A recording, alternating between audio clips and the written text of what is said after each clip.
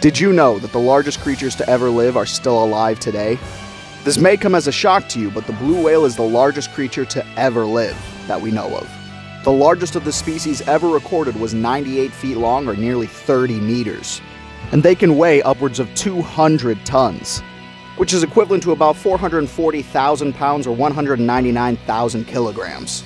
Even the average blue whale is about 20 to 25 meters or 65 to 80 feet. But unfortunately, even being the biggest thing in the ocean doesn't mean you're safe. Aside from humans, the only threat to blue whales are orcas, who will actively hunt and eat even adult blue whales. Blue whales may be the biggest thing in the sea, but they still gotta pay taxes to a dolphin with panda privilege.